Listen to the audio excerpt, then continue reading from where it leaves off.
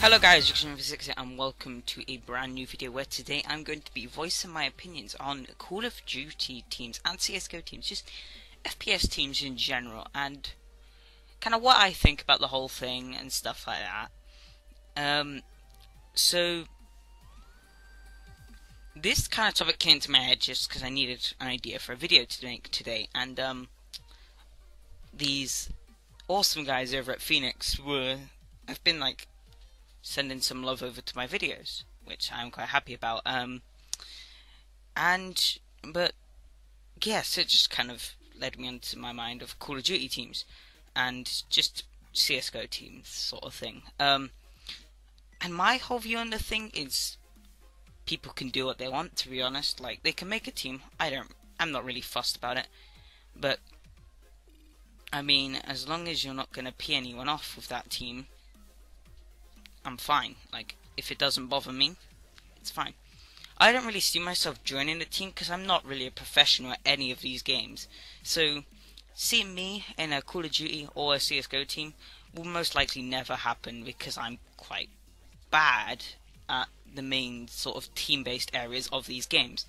I mean, like zombies I'm alright at, surfing I'm alright at, but none of them really are games you'd want to make a proper team out of because there's no real competition to it if that makes any sense.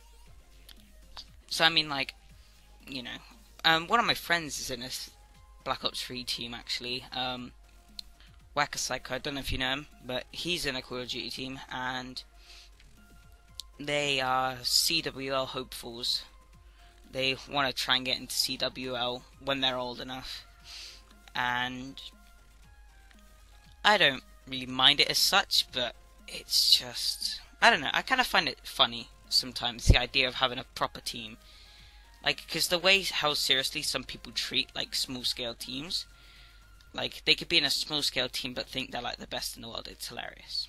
But um, I don't really have anything against COD teams, but it's just, you know, as long as like the people aren't cocky and arrogant, I honestly like don't really mind them. And like, if I, even if I was invited to join a team, I would maybe that would it would all depend actually. It, when the time came, how I was feeling about it, and um, depends how much they want me to put into that team. Like, if they wanted me to put in a lot into that team, I don't know. It would depend how much sort of effort they want me to put in, how much content they want me to put out, and stuff like that. Because, I mean, I definitely wouldn't want to leave this channel in the dust, but I mean, like, to play for a team would be pretty cool. Because I'd have a group of friends that I could always rely on playing together with, and stuff like that, but, you know. I mean, like, like I said, joining a team is a very unlikely thing for me because I'm not very good at the competitive aspects of both Black Ops 3 and CSGO. So, you know, seeing me in like the MLG Columbus will never happen. Or like the COD World League will never happen. Because I'm just not cut out for being amazing at the multiplayer versions of these games. But having that said, I am definitely getting better. Like, I don't know what seems to be about it, but like free for all seems to be going pretty well for me. Haven't played free for all in a really long time, so my skills are probably rusty. But my CS:GO deathmatch is going pretty well, and that's quite similar to free for all in a sense, because even though you're playing as a team, you're still trying to aim for the highest score, if that makes sense. And I mean, there's usually a team imbalance. There's usually more T than there is CT because everyone wants to use the AK because that gun is OP as fuck.